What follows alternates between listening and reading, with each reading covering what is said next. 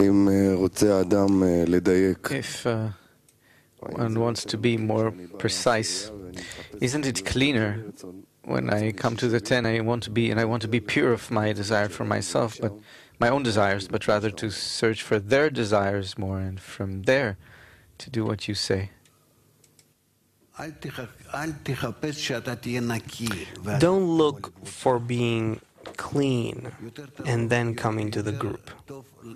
Better to come to the group in any case, in whatever state, the, the filthiest, with the worst possible thoughts and intentions. And then you go to the group like to a mikveh, to a purifying pull. Hmm. And if you want this to work on you from all directions, like washing yourself in water, then that's how it'll work.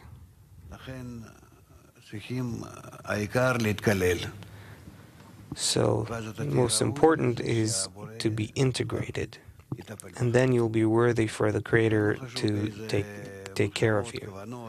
And it doesn't matter with what intentions, desires, thoughts, actions that that could be really contemptible that you're you're in. Mikveh, purifying pool, is is for that. The upper light created all of the, the inclinations in us in a broken fashion, and He too will correct it. Okay?